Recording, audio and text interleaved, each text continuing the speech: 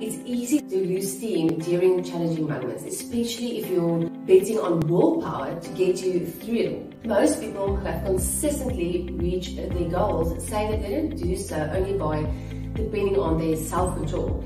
They changed their environment.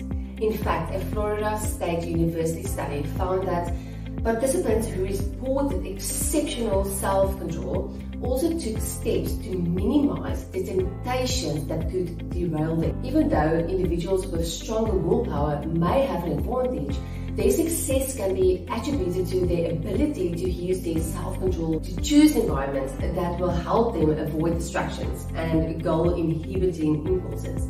In other words, instead of willing themselves to avoid scrolling on social media, they leave their phones at home or just block the app on their browsers. The best temptation resistors spend less time fighting the impulses than others do because they have optimized their environments to free them of the derailing distractions.